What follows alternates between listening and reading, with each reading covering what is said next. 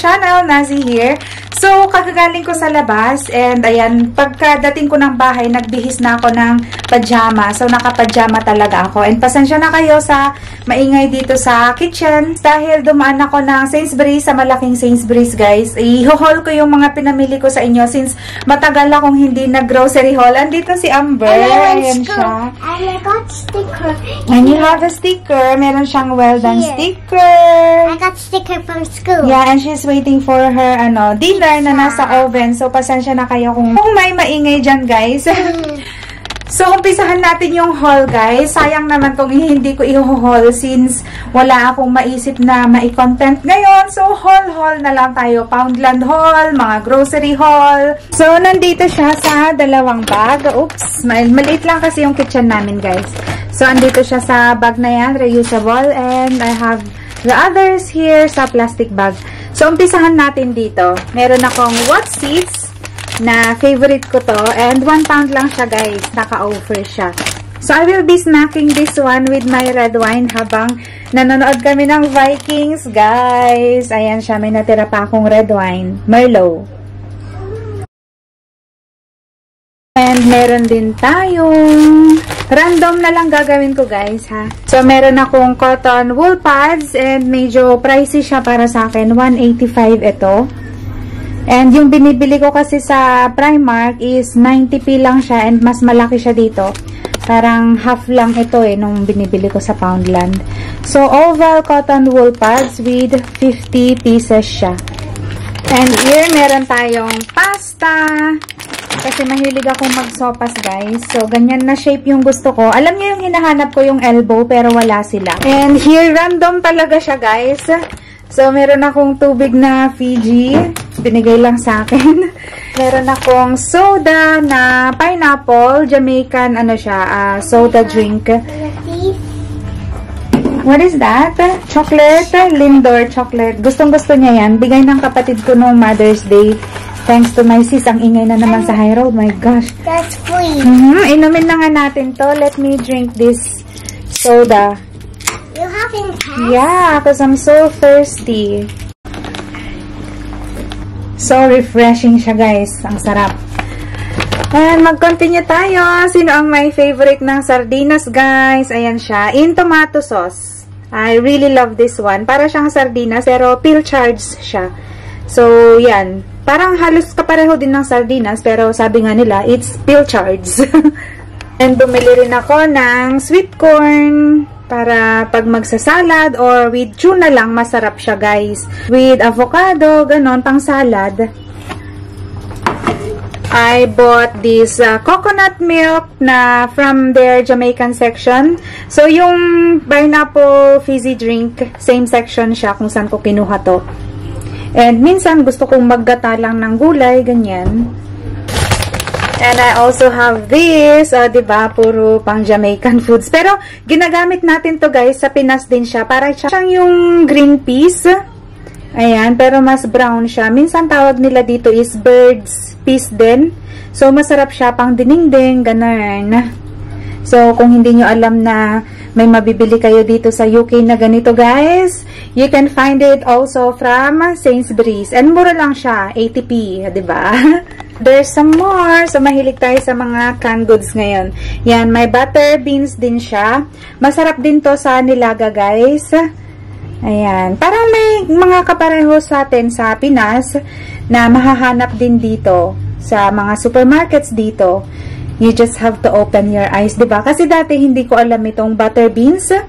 Para siyang cardis. Alam mo yung cardis? Alam niyo ba yung cardis, guys? Let me know kung Ilocano at Tagalog kayo. Ilocano yata kasi yung cardis. So, ayan siya. Or patani. Parang patani. And here, may nabili ako na, since malaki siyang Sainsbury guys, halo-halo yung mga tinda, may mga pang beauty, may mga damit. So, may nabili ako nitong Dancy Clay Peel Off. And uh, 90p lang siya guys. Meron din nito sa boots, ganon. So, Dead Sea Mask. So, merong Dead Sea Mud. Parang maganda siyang gamitin. So, tatlo yung binili ko kasi 90p each lang siya. Ayan, merong guava. Bago tong guava. pink guava peel off. So, I will try this one. Siguro okay siya kasi guava eh. Parang very light sa skin and very refreshing din yung amoy. And ang ganda kasi ng color niya, di ba guys? Nakaka-encourage bilhin. Bumili rin ako ng wet wipes para sa Bam Bam Chick. and I bought you something, Amber. Look! Your uniform and hold it, hold it. Oh. And that's only 6 pounds, guys. May uniform naman si Amber, but I just want to buy a new one. Ayan siya. It's only 6 pounds. And I got you more t-shirts. Kasi medyo maliit na yung mga ano niya, t-shirt na may collar na ganito. And that's only 3 pound 50 guys. Ang mura. Super inexpensive. Okay, put in the room. Good girl. And sa bag na to, yung mga pinaka-grocery. So, yung nilagay ko dun sa isang bag is parang dry lang siya. So, ito, meron tayong binili na mushroom mix. So, meron siyang shiitake, may oyster mushroom, and ang sarap talaga nito guys sa diningding. So, I bought that one together with this para ididiningding ko siya bukas. Kasi meron akong bagoong guys. So, here, binilahan ko si Amber ng mashed potato niya for her dinner, supposedly, pero naglagay na ng pizza si John sa oven since siya ang nag, ano, pick up kay Amber kanina. And meron tayong salt guys. This is super cheap. As in, 27p lang siya. Ang mura niya, 'di ba guys? Kung sa Pinas wala kaya tang mahahanap na ah, ganito na asin, na salt. Kasi sa atin sa Pinas pataas na ng pataas. Pero at least dito sa UK guys, UK siya, 'di ba? Akala nyo ang mahal, pero meron din minsan mga mura. So, 'yan. 'Yun ang maganda dito may mahahanap kang mura, ganon. Pero itong nabili ko guys, I paid 36 pounds. Pero pag sa Lidl ako bumili nito, and if ganito lang siya karami guys, I probably just spent ano, less than 20 pounds. ganon. Kasi ang mura talaga sa Lidl. But since Sainsbury was on my way and tamad akong dumaan na ng Lidl kanina, So, yan. Sa Sainsbury na lang ako bumili. And yan, meron akong binili na Italian passata. Uh, tomato sauce siya. So, I like to mix this with my pasta sauce pag nag-spaghetti ako. Kasi minsan, hindi enough itong ganito na, ano lang, tomato sauce for me. Ayan siya. Tomato and basil. It's from Lidl. So, yan. Pinakita ko lang sa inyo. is, alam niyo yung sinasabi ko na hindi siya enough. So, dinadagdagan ko siya nitong pasata. Hindi kasi ako naglalagay ng ketchup guys sa ano, spaghetti. Meron din akong binili na nor chicken cubes. Para pag nagsusopas ako guys, minsan nakakalimutan ko kasing bumili ng nor cubes. And talagang napapalasa naman niya yung sopas. Although ginagamitan ko pa rin siya ng konting ano, uh, ajinomoto, ganun. Ayan, this is one of my favorite vegetable ano siya, courgette. May ibang tawag sila dito sa Europe eh. Nakalimutan ko na yung mga friends natin na nag-upload dyan. Su zucchini ba? Zucchini, oo. Ayan. May iba-ibang color din nito. Yellow, but I haven't tried it yet. And madali lang tong lutuin, guys. As in, igisa mo lang. Pwedeng-pwede siya actually igisa with this, ano, mushroom.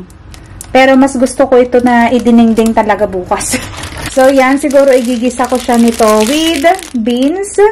So, 1 pound lang tong beans na to, guys. Fine beans siya, pero medyo mataba siya ngayon. Hindi siya nag-diet. Ayan, bumili rin ako ng garlic. Mag-isa lang siya since uh, minsan na uh, sasayang yung garlic ko, hindi siya nauubos. So, yan lang. Individual lang yung kinuha ko.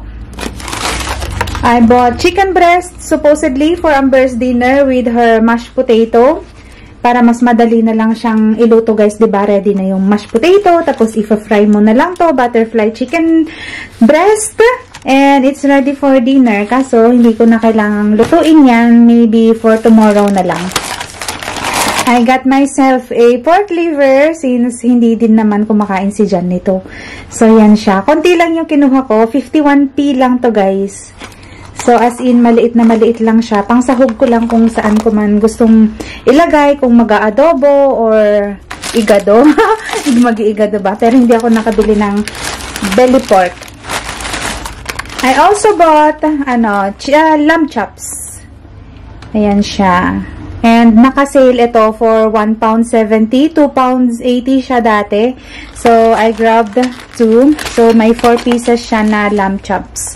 Masarap din ito na pang wine. Lagi na lang wine, no? And ayan, malapit na tayong matapos. May binili rin ako na smoked mackerel. Masarap to with tomato guys. Para siyang tinapa. Yan. Pero yung tinapa kasi, mas salty siya compare dito. So, ang ginagawa ko na lang, nilalagyan ko ng salt yung kamatis. And I dip it with this. And it's really, really yummy. Last na nabili ko guys, repolyo. Baby cabbages. Ayan siya, malambot. O, oh, diba? Yummy! Pwedeng-pwedeng pang sopas na guys. Magsusopas ako bukas. So, yeah, that's all what's inside my two bags. So, yan ang ating grocery for the week. And thank you so much for watching again, guys. And if you're new in my channel, please don't forget to click subscribe and like at the same time. Thank you so much guys. Bye!